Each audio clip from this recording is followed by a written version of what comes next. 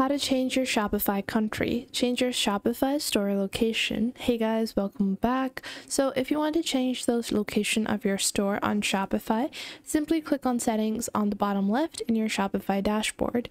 Once you do that on the left panel, you will see multiple different options. So from here, you want to click on locations and you will be able to see your current Shopify store location.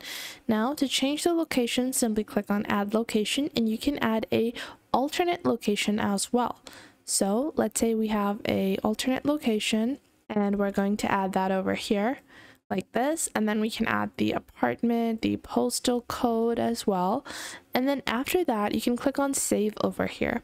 Now you will see that a new location will be added in your location section.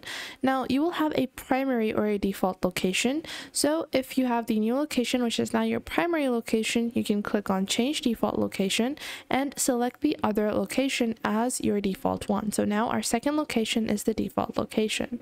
So I hope you guys found this video helpful and you're now able to change the store location on Shopify. Now alongside location location, if you want to change languages, then you can scroll down to languages on the bottom of the left panel.